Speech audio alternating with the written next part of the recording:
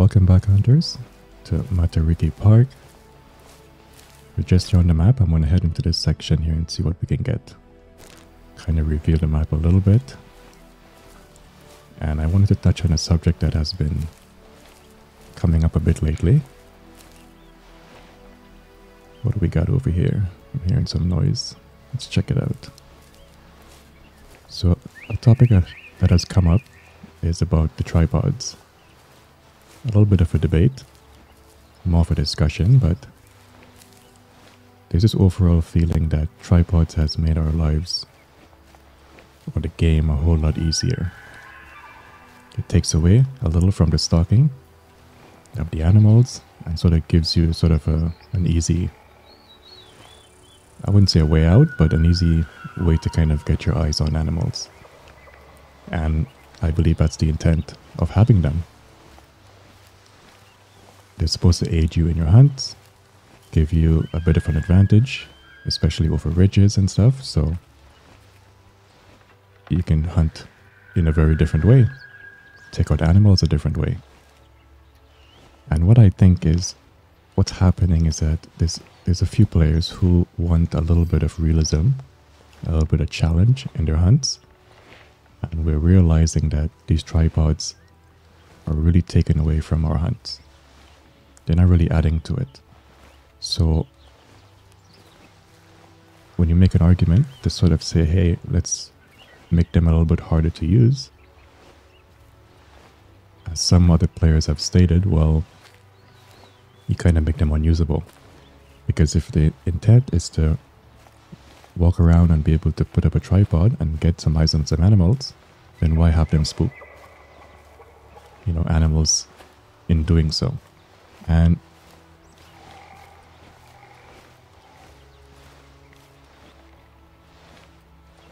I have always been saying that players need to feel consequences to their actions. And I get that not not all players want that, but as a hardcore player for people who like hardcore realism, there has to be consequences to your actions. And you can't just walk up to a herd 50, 90 meters out and just put up a stand and shoot. Like there has to be some kind of a weight to that. But I understand that the majority of our player base are casual players, players who don't really hunt in real life, and even if they do, they just want to be able to jump into a session, hunt a few animals, and be on their way. So I get that that's not appealing. So what I've realized is that we're going to have to cater to the casual players, and for those who like tough hunts, realism, we're going to have to sort of create that environment for ourselves by imposing rules, by not using items, which kind of sucks because these tripods are really, really fun to use, you know, and them being that easy is a little disappointing. But as some players have said, well, if you don't, if you find them too easy, then don't use them. And I think that goes for a lot of things in the game. For certain types of guns, which do make your life easier, just don't use them. And that's really what it comes down to. Or you can find a way to use them in a way that does not make your hunt so easy. So I just thought that was interesting. You know, I mean, we're getting a lot of features, we're getting a lot of items that we request. And as a result, this will come at a price. It will come at a price of either making the game harder, easier, more accessible, and for some that may not be ideal. and you can just ignore it. Just don't use it or find a way to use it in a way that does not take away from your hunt. So I think we got some red deer over here. Yeah, I see them. I think they're coming to drink.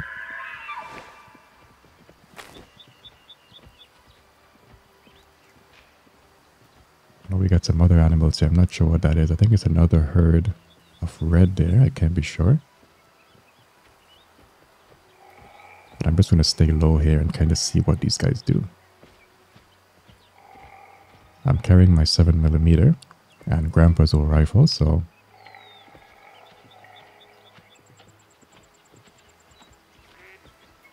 if we can put grandpa's rifle to work, we will.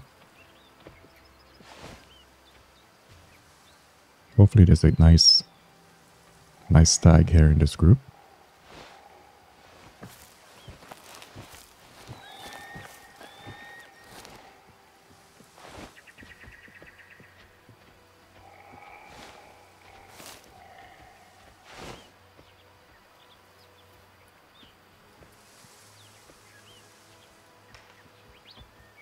They're watching me here. Okay, so it seemed like they're resting.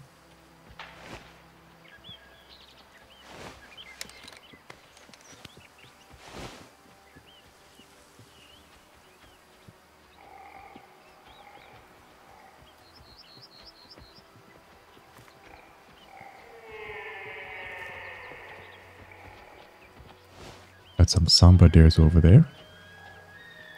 I'm telling you, man, there's so much goodness on this map. You're tracking one thing and then you hear something else that you want. But we're going to focus on these red deers for now. And if we get a chance, we can follow up with any other herd that's around us.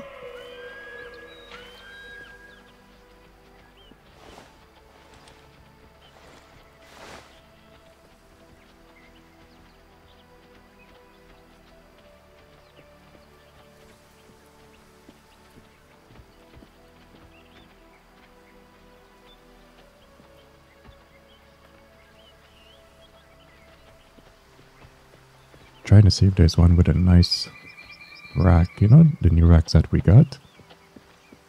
But so far, nothing good.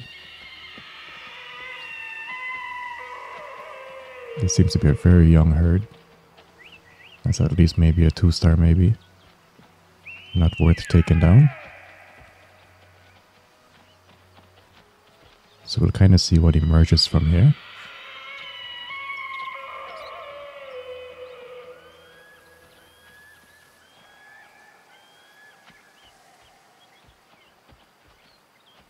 So much goodness on this map, man. You're hunting one thing, you're hearing other stuff. It's amazing. Sometimes it's a bit overwhelming, you know? But this map is so refreshing. Love it. Easily one of the best map. Let's see if there's anything coming out here. Ooh, look at that.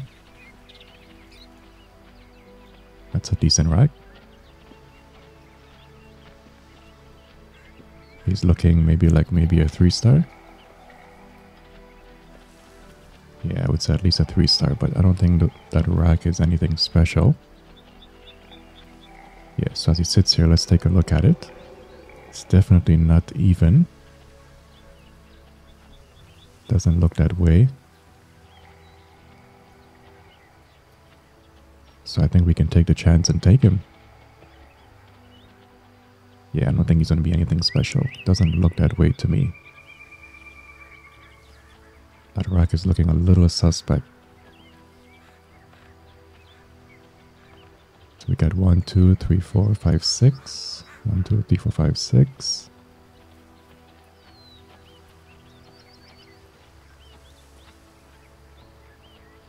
It's a little tricky to tell, but I, I do think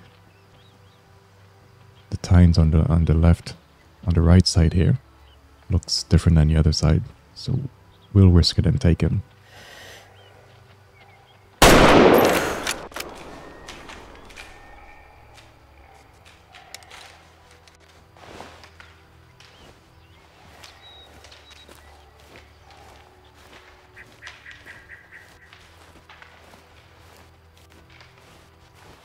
Got him good. I think he's hobbling over there. Let's give him some time to die. Shouldn't be going too far. I think we got a decent long shot. He was moving, so I'm thinking that probably got maybe a little bit mid to the back of the lungs.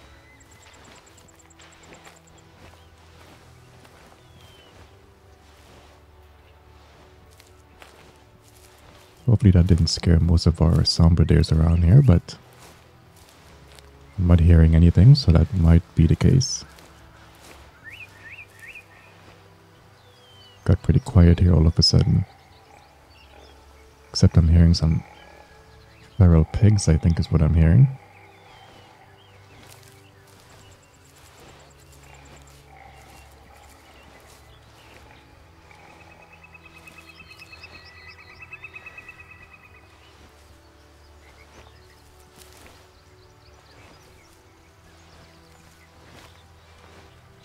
Some blood, which I don't really know where I shot him.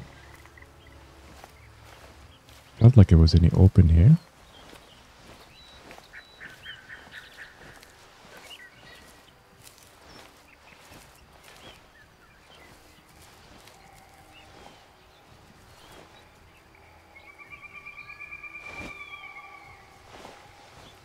Oh, so he went this way. I could have sworn I saw him back this way. Okay, so that worked out. Yeah, unless he probably came back this way when I saw him. But I'm very glad I looked in this direction because I was able to see the blood. I would have been running around back there, you know, looking when really he came this way.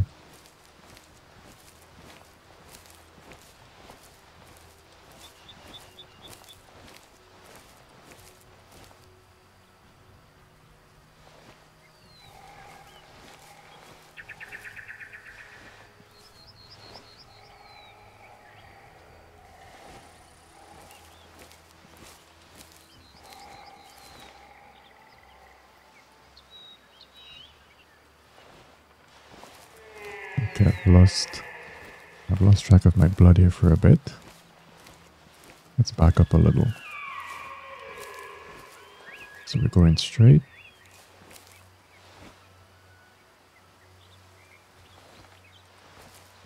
Went back this way.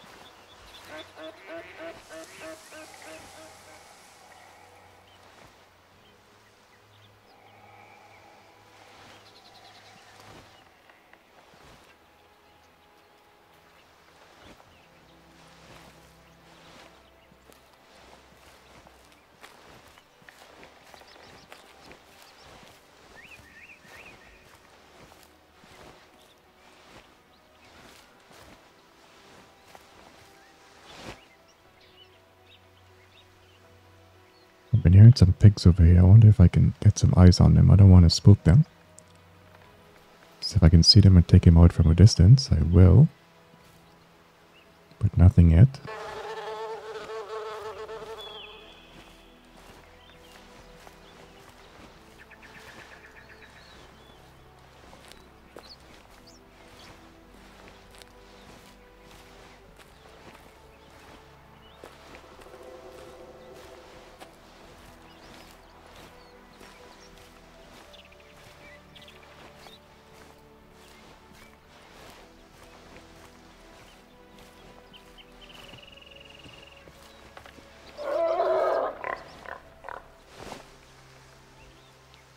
Got some boys just around here.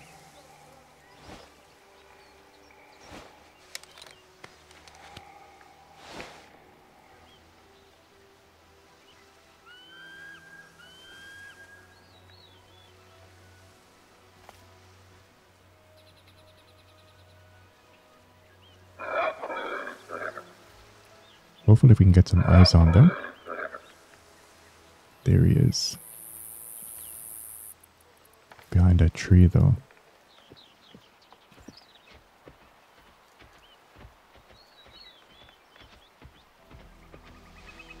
Looks like he's alone. Let's see if he comes through this opening. It's gonna be pretty tight, but we'll take him. Just gotta be a little patient and see if he comes through here. That would be perfect. Not sure what he's not sure what he's doing here, but he still seems to be under that tree. Okay, so our, our red deer is right here. How ironic is that? It gets pretty challenging to hunt in this brush. It's one thing I love about it. Okay, we're getting some movement here. But is he coming our way? That's the question.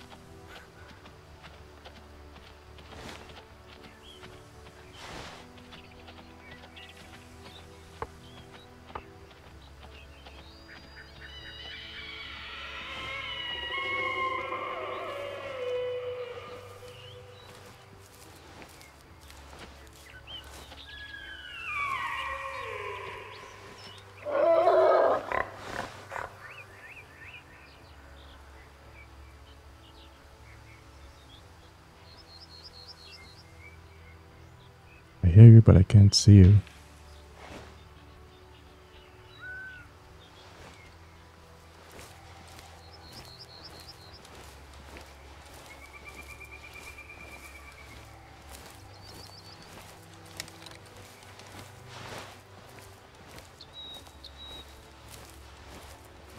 I couldn't locate that boar, so I decided to come back and let's harvest our guy that we shot.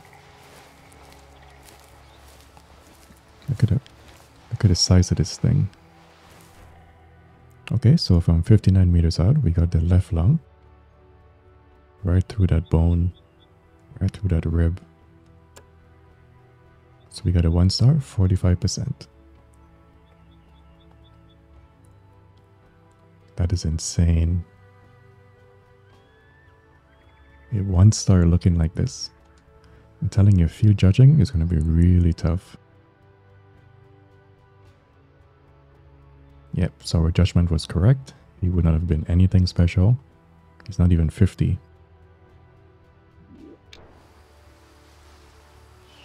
Still a nice kill. But these rocks will take some getting used to. Let's check our wind. So we're just going to head this way.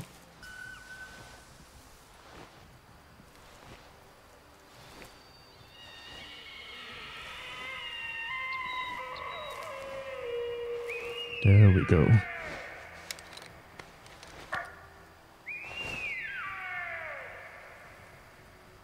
Oh, it's some red deers. We found another herd. There's some big boys in this one. But he still looks young. Maybe three star? That man, that would have been a perfect shot.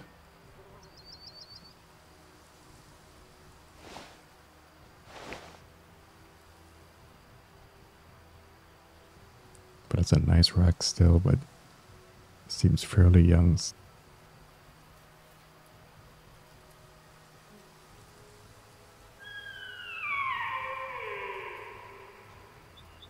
If you look at the thickness, doesn't look that thick. So that's how you can tell it's not a beast of a rack yet.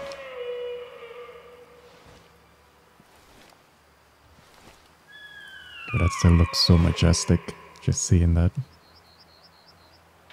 Yeah, so there's two of them.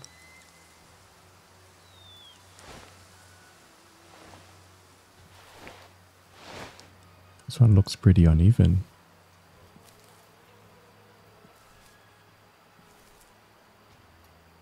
One side looks a lot smaller than the other.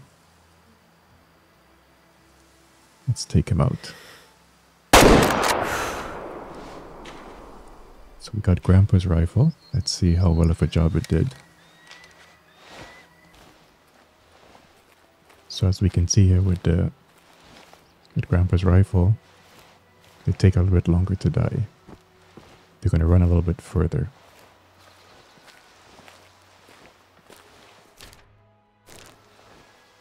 That's just on the edge. A little further and we probably wouldn't be able to claim it. But there's our big boy. 90 meters out, left lung, right through that rib, clipping that artery. And we got another one star, 44%. And look at that rack. Completely uneven. That is absolutely incredible. Yeah, definitely worth keeping.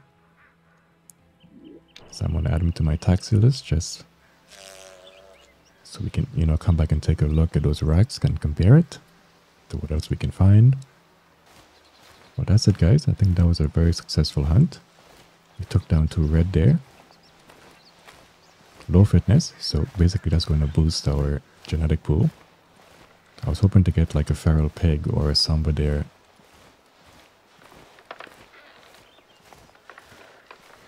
I was hoping to get like a, a feral pig or a sika there, but we didn't we didn't get that lucky. So I'm just gonna leave it there for now. Thank you for watching and thank you for listening.